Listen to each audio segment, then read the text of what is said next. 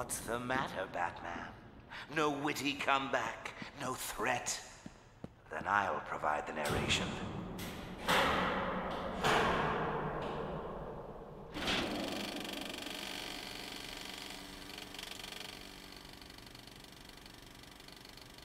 I'll begin with how I peeled back the layers of the boy's mind.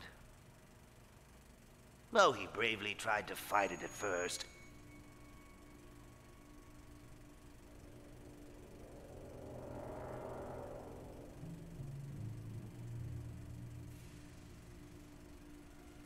You would have been proud to see him so strong. But all too soon, the serums and the shocks took their toll, and the dear lad began to share such secrets with me. Secrets that are mine alone to know. Bruce. It's true, Batsy.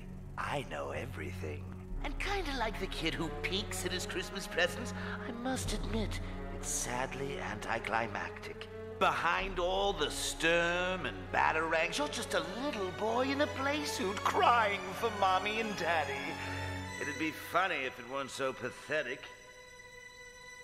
No, what the heck, I'll laugh anyway.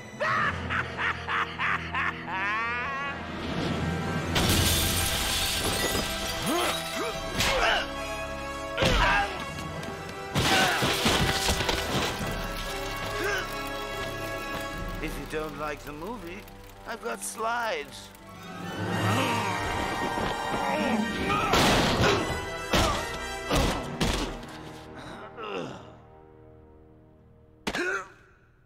I'll break you in two.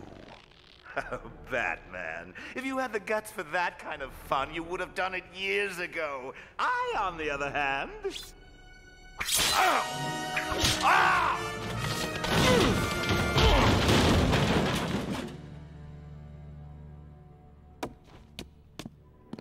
Lost, Batman. Robin is mine. The last sound you hear will be our laughter. Here you go, sonny boy. Make Daddy proud. Deliver the punchline.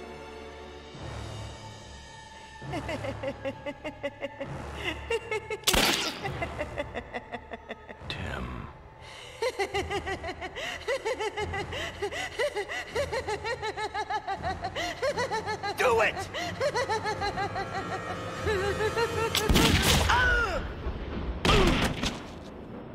That's not funny. That's not.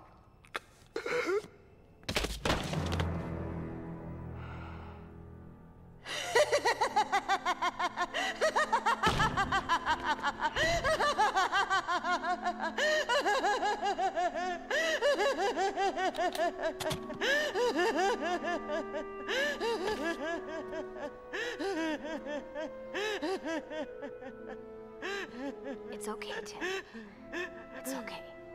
We buried the Joker deep beneath Arkham. The only other person who knew what happened that night was my father, the first Commissioner Gordon. He promised to keep our secret.